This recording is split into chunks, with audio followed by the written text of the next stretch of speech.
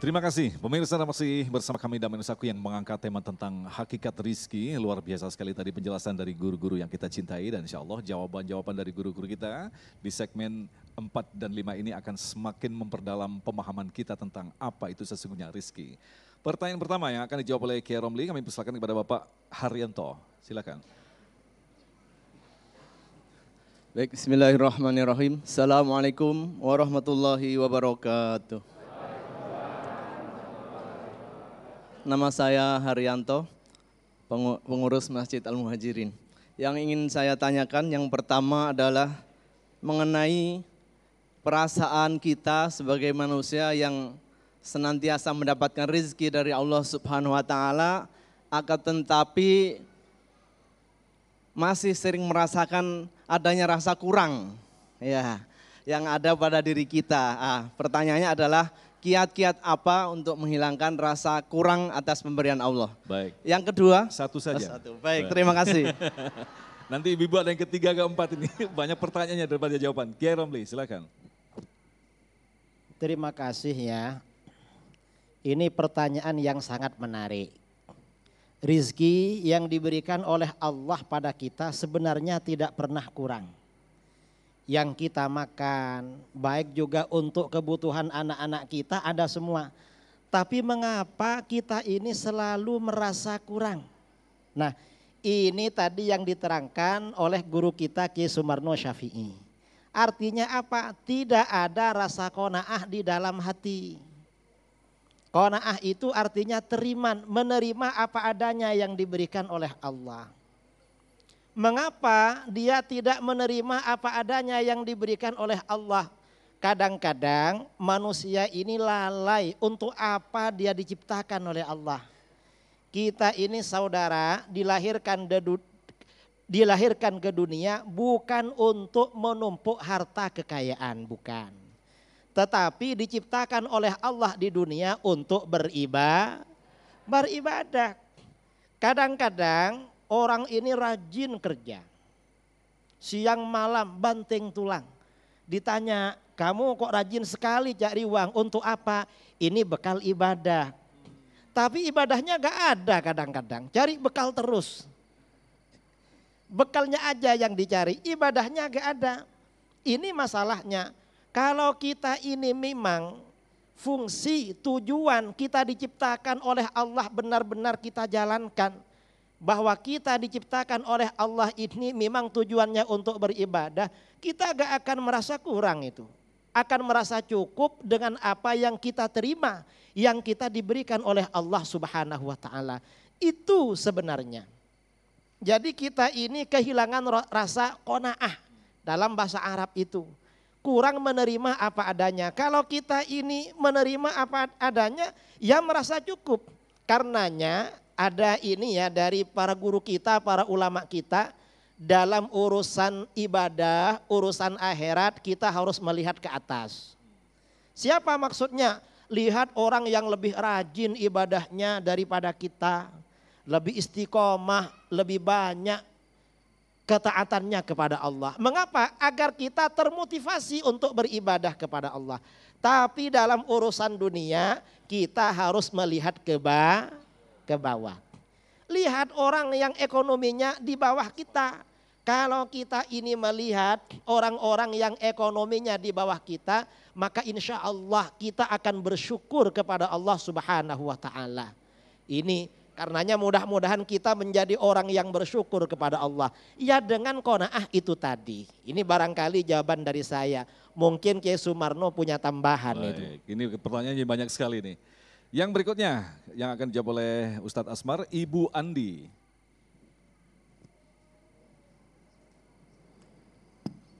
Bismillahirrahmanirrahim. Assalamualaikum warahmatullahi wabarakatuh. Perkenalkan nama saya Handi Mardia dari Majelis Taklim Al-Muhajirin, Pondok Ungu Permai, Bekasi. Sesuai dengan tema pada siang hari ini, Mungkin langsung saja dari pertanyaan, apa konsep-konsep apa saja yang diberikan oleh Allah Subhanahu wa taala rizki sehingga menjadi berkah Terima kasih. Wassalamualaikum warahmatullahi wabarakatuh. Waalaikumsalam warahmatullahi Silakan Ustaz Asmar. Jadi konsep apa sehingga rezeki kita itu menjadi berkah? Ya. Yang pertama untuk mendapatkan rezeki yang berkah itu tidak ada jalannya kecuali mengantarkan seluruh aktivitas kita itu menjadi aktivitas yang mendekatkan kepada Allah Subhanahu wa taala. Maka rezeki kita itu akan berkah. Ah, maksud saya di sini ketika uh, datang waktu panggilan Allah seperti halnya dengan waktu sholat, ya, maka aktivitas-aktivitas kita mengumpulkan harta, aktivitas-aktivitas kita di toko, aktivitas-aktivitas kita di kantor itu harus dijedah sejenak. Untuk apa? Untuk bagaimana kita kembali kepada tujuan hidup kita. Iya, wa ma khalaqtul jinna wal insa illa liya'budun. Yang mana kita ini diciptakan oleh Allah tujuannya untuk mengabdi kepada Allah. Ah, seperti yang dikatakan oleh guru kita Kiai Idrus Ramli tadi. Jangan kerjanya kita ini hanya mengumpulkan bekal untuk ibadah, tapi ibadahnya tidak jalan-jalan. Karena kalau kita ingin uh, mengukur uh, pengumpulan harta kita itu enggak ada cukupnya. Sampai kapan? Hatta zurtumul makabir. Sampai kita masuk di liang kubur pun tidak pernah kita akan merasa cukup. Maka apa yang bisa membuat kita merasa cukup? Kita harus menjadi orang-orang yang mengalihkan seluruh aktivitas hidup kita itu lillah karena Allah. Tetap itu yang menjadi tujuan utama. Saya kira seperti itu Bu. Baik, terima kasih Ustaz. Selanjutnya kami persilakan kepada Bapak Muhammad Yasri yang akan dijawab oleh Kiai Sumarno Syafi'i. Silakan.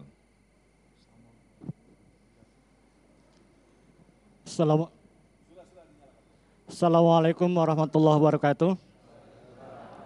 Nama saya Muhammad Suyasri. Langsung saja pertanyaannya Pak Ustadz. Bagaimana kita bisa mengetahui kalau ikhtiar kita dalam rangka mencari rezeki itu akan diridhoi dari Allah Subhanahu wa taala dan diberkahi. Demikian. Luar biasa. Terima kasih. Ini pertanyaan yang luar biasa sekali. Parameter bahwa rezeki kita diberkahi, Kiai bagaimana apa yang kita lakukan bisa diketahui bahwasanya itu adalah mendapatkan ridho dari Allah Subhanahu wa taala. Kembali jawabannya tergantung bagaimana tujuan apa yang kita lakukan. Kalau niat kita ikhlas karena Allah, kul inna salati wa nusuki wa mah wa mamati lillahi rabbil alamin. Bahkan hadis Nabi bilang kalau memang dia tujuannya karena Allah, walaupun dia berbuat amalnya amalia dunia, maka kalau tujuannya karena Allah, Allah akan kasih dapat pahala akhirat. Bu, ibu dandan, ibu berhias, ibu lagi mempercantik diri pergi ke salon, tapi orientasinya adalah untuk menyenangi suami, dapat ridho Allah. Ibu pergi ngaji datang ke majlis taklim begitu duduk orientasinya pengen dikenal orang langsung buka HP set.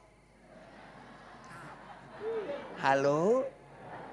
Masuk update status, masuk lagi Instagram, di situ ibu tulis aku di taman sorga. Pret.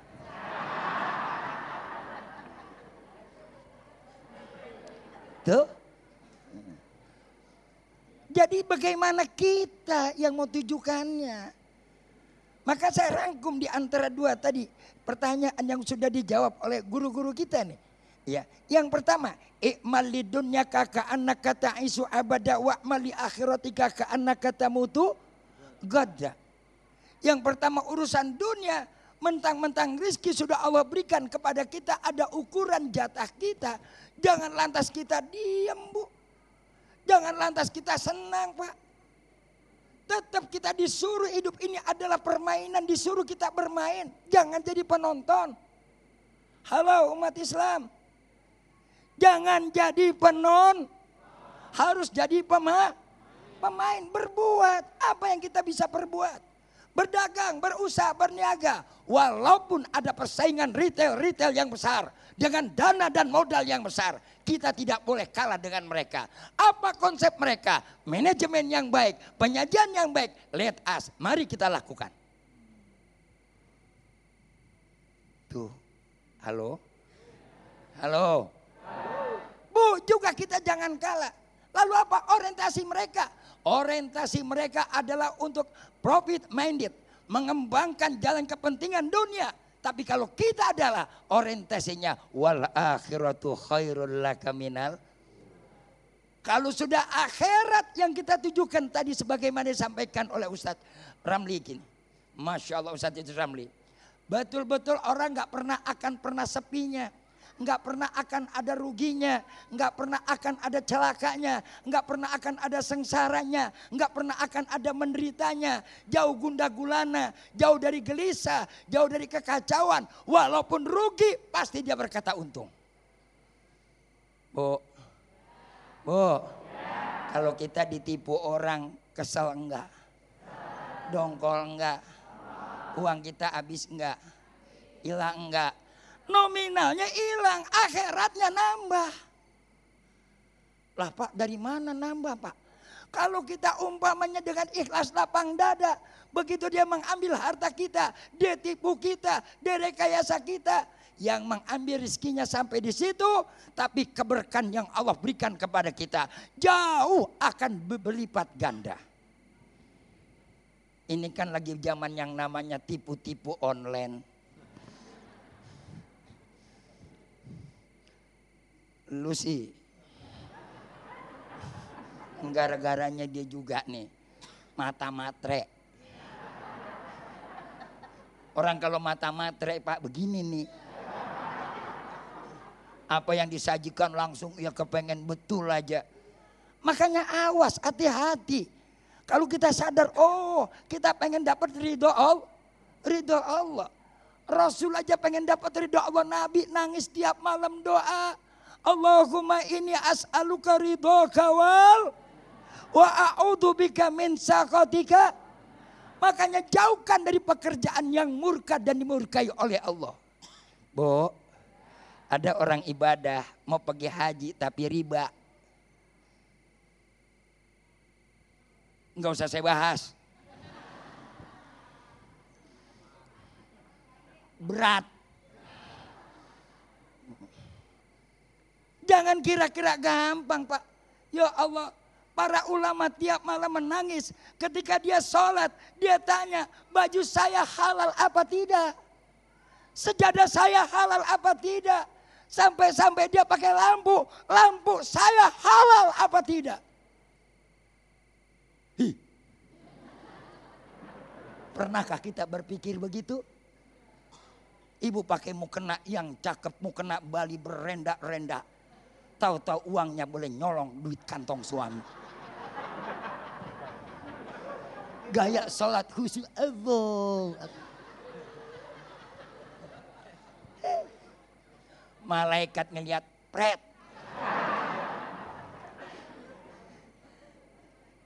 Jangan kau dustai aku kata Allah. Sampai kata Allah jangan ada dusta di antara kita. Bapak pengen seperti kayak orang kelihatannya ahli ibadah. Bodoh. Taatnya kelihatan dibuat-buat. Eh, wa in tubdu ma fi anfusikum au tukhfuhu yuhasibukum.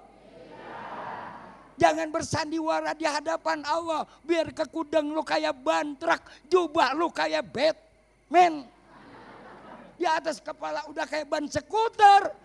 Tapi kalau dia dapatnya dengan cara yang tidak halal, yang tidak baik, yang tidak dari Allah, tetap Allah akan murka kepada kita.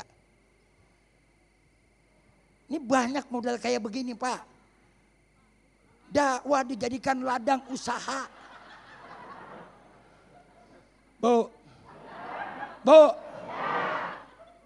Banyak apa banyak? Banyak apa banyak? Makanya nabi, nabi jadi nabi, nabi juga usaha. Nabi juga usaha, nggak ngandelin dari umat.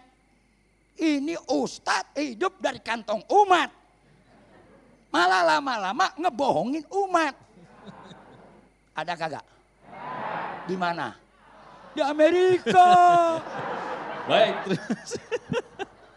wow. Harus banyak ada yang disensorin sebenarnya.